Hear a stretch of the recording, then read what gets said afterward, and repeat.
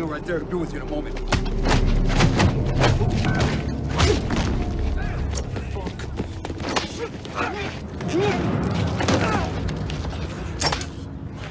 We have a strict agreement with the Red Bones.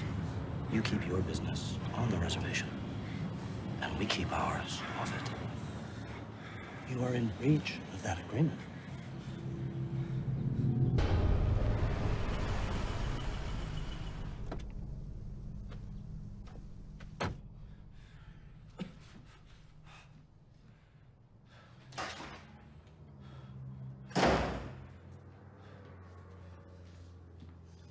Fuck is he doing here? We came in and found him here with this motherfucker already in the vice. He was dealing in our territory.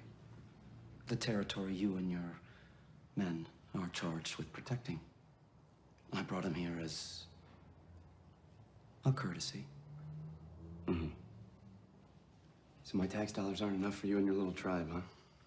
Now you fuckers are going to encroach on my business? Fuck you. I don't think so.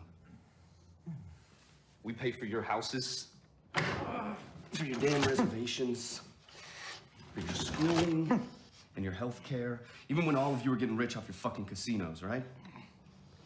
This country has lost its spine. The politicians are giving it away to the mutts and the mongrels while good, pure-blooded Americans go hungry. This isn't a nation anymore. It's a fucking soup kitchen. And you know what? We're all out of fucking soup!